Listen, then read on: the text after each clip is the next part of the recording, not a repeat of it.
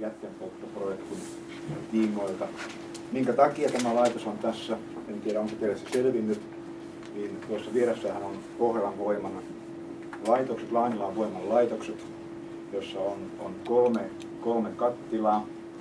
Tällä hetkellä taitaa olla vain kaksi käyttökunnassa. On kiertopeti, leijupeti ja sitten niin varakattila, niin öljykäyttö.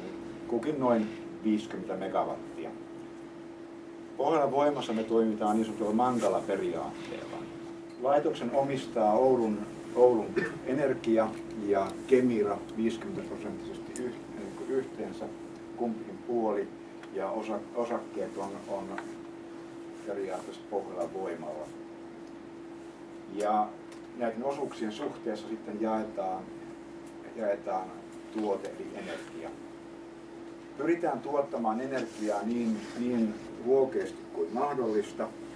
Ja kaupataan sitä sitten alueella oleville firmoille omakustannushintaan ja sitten he sitten omassa tuotteessaan sitten saavat sen voiton, mitä halpa energia antaa. No, me kuviteltiin aluksi, että me rakennetaan tähän vierään uusi voimalaitos ja, ja sitä siinä pohdittiin. Sitten tuli tämä, tämä, tämä jätteen, jätteenpolttolaitoskuvio tähän mukaan ja sitä kautta Pohjavoiman uusi laitos jäi niin kuin hieman, hieman taka-alalle. Saattaa olla, että on joskus vuonna 2023. Lähdetään tästä projektin taustasta. Ville tuossa mainitsikin, että Oulun Energia itse lähti tätä hommaa jo niin jätteenpolttolaitoksena 2002 pohtimaan. Se kaatui sitten, sitten ympäristö, ympäristökysymyksiin. Ja sitten vuonna 2004 tähän perustettiin ää, on, se Oulun seudun jäterengas. Ja, ja he kilpailuttivat sitten ää, tämän alueen jätteet, oikeastaan se alue, mitä tuossa näitte, näitte Villen esityksessä. Ja tässä tapauksessa oli Pohjolan voima, joka, joka niin kuin tätä projektia halusi, tätä voimaa halusi saada tänne korvaamaan yhtä, yhtä noista, ehkä tuo kupliva peti oli silloin päätarkoituksena korvata. Samassa sitten hankittiin turbiini.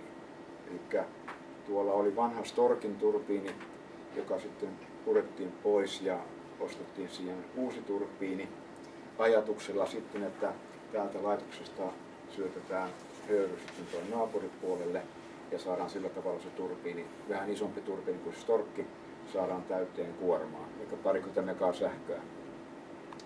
No, turbiini saatiin ja sitten ympäristölupakysymyksessä jälleen, tai oikeastaan ympäristölupakysymykset ja sitten se, että me hävittiin tämä, tämä, tämä jätekilpailu, joka tarkoitti sitä, että, se, että jätteet olisi menneet Katernöihin tuonne etelämmäksi. Tämä jäterengas tuumasi, että mehän emme jätteitä mihinkään anna ja purki, purki tämän jäterenkaan. Ehkä se on ihan viisas temppukin. No, sehän tarkoittaa sen jälkeen, että pohjalla voima ei voi enää tätä laitosta, laitosta tähän rakentaa. Jos me oltaisiin aloitettu rakentamaan ja otettu tämän alueen jätteitä, niin, niin oltaisiin markkinaoikeudessa katsonut, jos on hetkinen, mehän voitettiin se kilpailu. Että te, eli sitä kautta Pohjola-voiman tie oli selvä. Sai sitten loppujen lopuksi tämän, tämän projektin liikkeelle ja saatiin ympäristölupa, ympäristölupakin saatiin tähän ja päästiin sitten varsinaisesti tätä, tätä laitosta rakentamaan. Ja ympäristölupa saatiin 2009 ja saman tien ää, itse asiassa meillä oli, oli jo nuo, nuo päälaite, lähinnä kattila, sopimus oli jo hyvin pitkälti valmiina.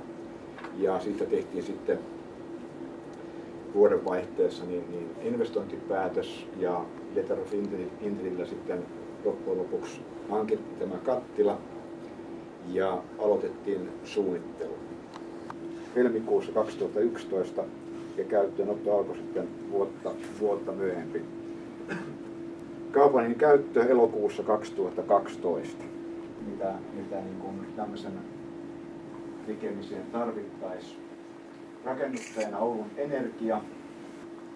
Meillä on Pohjelavoiman puolelta, niin, niin, niin meillä on laitoksia, jotka ollaan rakennettu EPC-periaatteella, joka konsultin edustaja tekee käytössä katsoen kaikki. Tekee, suunnittelee, suunnittelee, hankkii, valvoo, käyttöön ottaa, tekee kaikki nämä.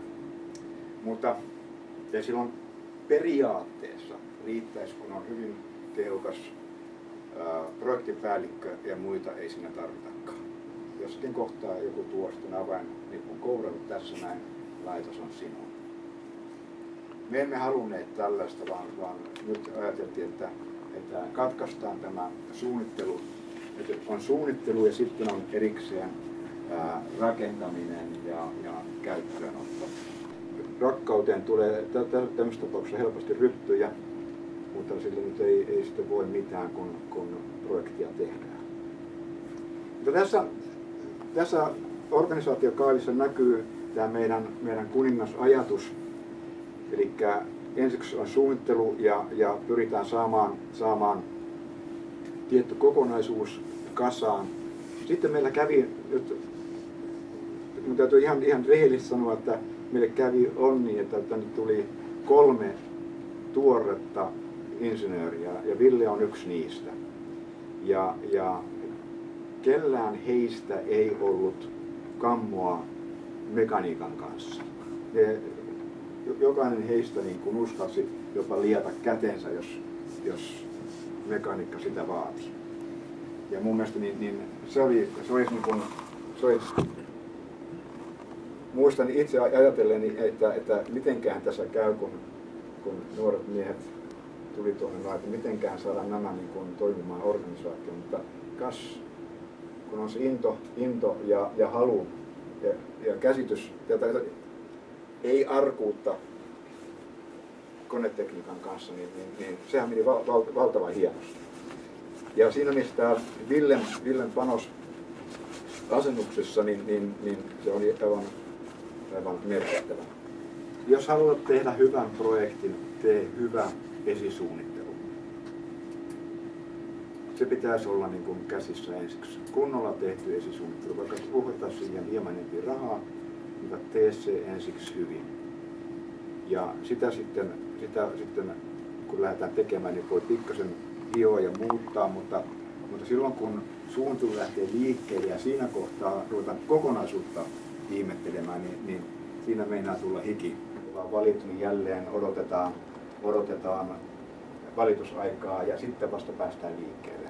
Eli siinä palaa, palaa aikaa ja sen takia hankintojen ajankohdat on mielettömän tärkeitä. Ja, ja siinä mielessä meillä oli epäonnea, että juuri tuon suunnittelijan kanssa niin, niin, niin se valinta väistämättä siirtyi sitten liian myöhäiseksi. Eli meille tuli kiire aivan selkeästi.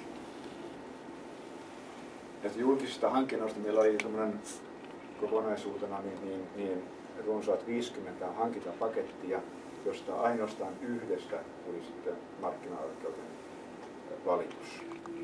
Sitten kun tilaaja, tässä tapauksessa niin kun lasken itsensä joukkueeseen, on sen verran kokematon asiasta, että ettei huomaa, että mikä siinä mättää.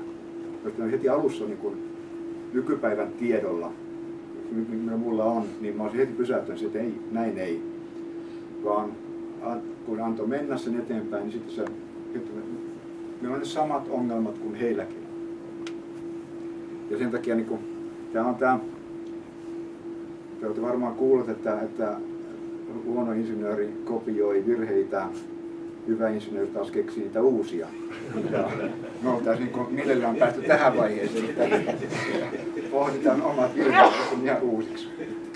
No, sitten konsultin seuraava ongelma on, on joka tänä päivänä todella voimakas ongelma, niin, niin heidän ammattitaitonsa, ää, paikallinen ammattitaito vähenee.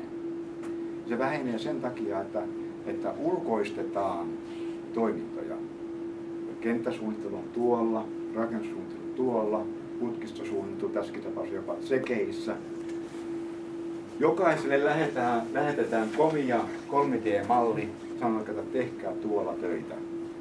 Uusi turbiini, jätekattilasta höyryn. Se vaihtelee vaihtoa tuon höyryn lämpötila kattilasta niin, niin vähän kattilan likaisuuden mukaan.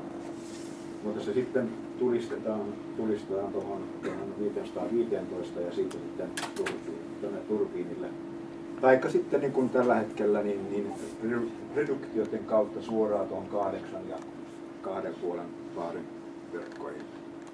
Puheenjohtaja. Ja, ja kun mä kuuntelin hänen argumentointiin, että huh, huh, jos ihmisillä on sellaiset käsitykset tästä laivasta. Ei mikään ihme, että, että, että kaikki on sitä vastaan. Ja sitten kun mä luistelen tuolla ruskon ympärillä, niin, niin edelleenkin on imeillä lemu, lemu. Ja se on sitten ihan normaalia, mutta tämä, joka ei haise ollenkaan, niin, niin tätä ei saa tehdä. Niin sitä mekin, että onko se nyt niin parempi, että laitetaan ne tuonne nuin ja läjitetään tuonne maahan vai että käytettäisiin energiana jotenkin se, niin, että... Se on mielikuva. Monta, montako lok, lokkia tuossa pyörii nyt tässä laitoksessa? No kuule, täällä itse asiassa niin tämä, tämä, tämä, täällä pyörii. Ja tämä, tämä, tämä, tämä, ehkä, ei, ehkä ei enää, mutta jossakin vaiheessa tämä oli semmoinen niin kuin, noi jäteautot oli semmoisia lokkirysiä. Ne tuolla paaleja purettiin ja lokit tietysti meni sen rekan päälle, päälle niin nokkimaan, nokkimaan ää, jätettä ja kansi kiinni. Eli tämä, tämä rekan katto. Sitten ne tulee tänne ja avataan. ne on täällä.